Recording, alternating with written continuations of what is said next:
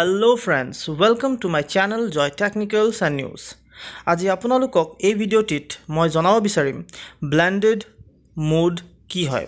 অৰ্থাৎ online blended mode exam কি হয়? তাৰ বিষয়ে আপোনালোকক জনাম।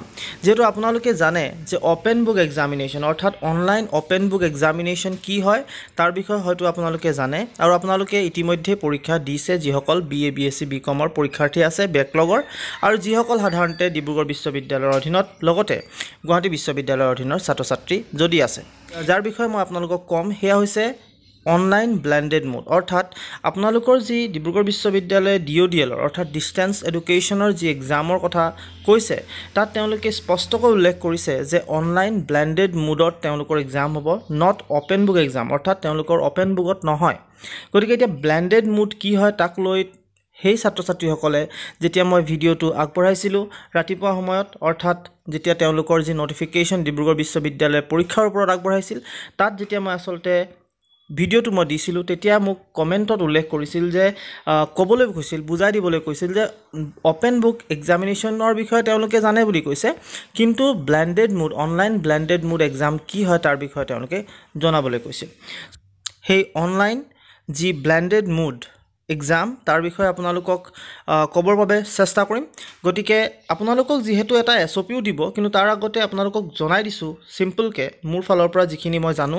সেয়া হৈছে যে অনলাইন ব্লেণ্ডেড মুড এক্সামটো এনেকুৱা এটা পৰীক্ষা যিটো পৰীক্ষা সাধাৰণতে আপোনালোকৰ অনলাইন মাধ্যমেদিয়ে হ'ব। অৰ্থাৎ যেনেকৈ আপোনালোকে মোবাইলৰ থ্ৰুৱেদি বা আপোনালোকে কম্পিউটাৰৰ থ্ৰুৱেদি আপোনালোকক নিৰীক্ষণ কৰা হয় বা আপোনালোকে আচলতে তাতে তাৰ থ্ৰুৱেদি পি ডি এফ আপোনালোকে আপলোড কৰে সেই মাধ্যমেদিয়ে হ'ব।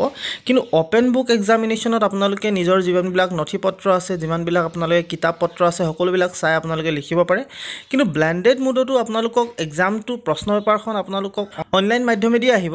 কিন্তু আপোনালোকৰ যি পেপাৰ সেই পেপাৰটো আপোনালোকে যেনেকৈ আচলতে এ ফ'ৰ ছাইজৰ পেপাৰত আপোনালোকে লিখিছিলে সেই তেনেকৈ আপোনালোকে লিখিব লাগিব আৰু লিখাৰ পাছত যিটো আপোনালোকৰ পেপাৰ ছাবমিট সেই ছাবমিটটো হয়তো আপোনালোকক এনেকৈও ক'ব পাৰে তেওঁলোকে পি ডি এফ আকাৰেও হয়তো বিচাৰি ল'ব পাৰে বা আপোনালোকক নিজাববীয়াকৈ হয়তো কলেজত জমাও লৈ ল'ব পাৰে। গতিকে এইটোৰ ওপৰত কোনো ধৰণৰ চিয়ৰিটি নাই অৰ্থাৎ ব্লেণ্ডেড মুড আপোনালোকক এনেকুৱা এটা পদ্ধতি যিটো পদ্ধতিত আপোনালোকক অনলাইন আৰু অফলাইন দুয়োটাই প্লাছ কৰি কিনে আপোনালোকক যি এটা পদ্ধতিৰ সূচনা কৰিছে তাকে আমি ব্লেণ্ডেড মুড বুলি সাধাৰণতে কওঁ।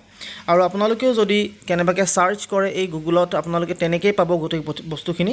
গতিকে অনলাইন পদ্ধতিটোত আপোনালোকৰ পৰীক্ষাবিলাক প্ৰশ্ন পেপাৰ পেপাৰবিলাক আপোনালোকে অনলাইন পদ্ধতিত পাব। কিন্তু যিটো উত্তৰ বহী সেই উত্তৰ বহীখন আপোনালোকে হয়তো পি ডি এফ আকাৰত আপোনালোকক অনলাইন মাধ্যমেদি লৈ ল'ব পাৰে। আৰু নহয় আপোনালোকক হয়তো সেয়া কলেজত জমা দিব পৰা হ'ব পাৰে। চ' ইয়াত আপোনালোকক কেৱল মাত্ৰ এটা কথা ইয়াত আপোনালোকে কিতাপ চাই লিখিব নোৱাৰিব হয়তো ইয়াত আপোনালোকক এনি টাইম নিৰীক্ষণ কৰি থাকিব পাৰে গুগল ক্ৰমৰ থ্ৰুৱেদি বা আপোনালোকক বিভিন্ন ধৰণৰ গুগল মিটৰ থ্ৰুৱেদি আপোনালোকক হয়তো নিৰীক্ষণ কৰিব পাৰে।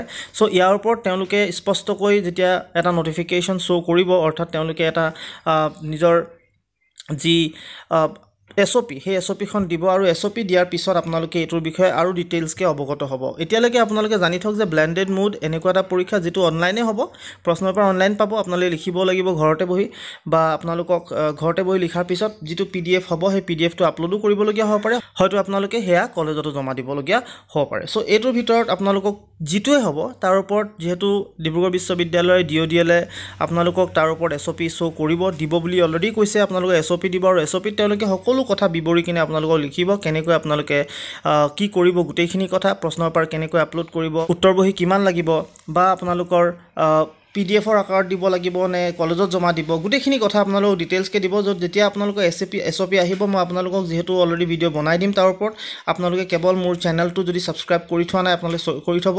আৰু যিমানবিলাক ভিডিঅ' আপোনালোকৰ আহে সেইখিনি প্লিজ শ্বেয়াৰ কৰিব যিমান পাৰে সিমান শ্বেয়াৰ কৰিব লগতে লাইক কৰিব নাপাহৰিব। আৰু ভিডিঅ'টো কেনেকুৱা পাইছে সেইটোৰ ওপৰত আপোনালোকে কমেণ্ট কৰক। ভাল পাইছে যদি ভাল পাইছে আপোনালোকে কেনেকুৱা কি অসুবিধা পাইছে যদি সেইবিলাকৰ ওপৰত আপোনালোকে কমেণ্ট কৰক। কমেণ্ট কৰাৰ লগে লগে মই গম পাম যে কেনেকৈ মই আপোনালোকৰ কাৰণে এটা ভাল ভিডিঅ' দিব পাৰোঁ তাৰ কথা চিন্তা কৰিম। গতিকে আপোনালোকক মই আজি বুজাব চেষ্টা কৰিলোঁ অনলাইন ব্লেণ্ডেড মুডৰ এক্সামৰ বিষয়ে আপোনালোকক ক'বলৈ চেষ্টা কৰিলোঁ আৰু ইয়াৰ বিষয়ে যেতিয়া মই যিখিনি কথা ক'লোঁ আপোনালোকে মনত ৰাখিব সেইখিনি কথা। আৰু আশা কৰিলোঁ আপোনালোকে ভিডিঅ'টি ভাল পাইছে। যদি ভাল পালে তেনেহ'লে প্লিজ এটা লাইক কৰিব শ্বেয়াৰ কৰিব আৰু ছাবস্ক্ৰাইব কৰিবলৈ নাপাহৰিব আৰু কমেণ্ট কৰিব যেনেকুৱাই পালে আপোনালোকে তাৰ ওপৰত কমেণ্ট কৰিব। গতিকে আজিলৈ ইমানেই আপোনালোকৰ কাৰণে। আজিলৈ ইমানে আপোনালোকৰ কাৰণে। Thank you for listening me and tata and bye bye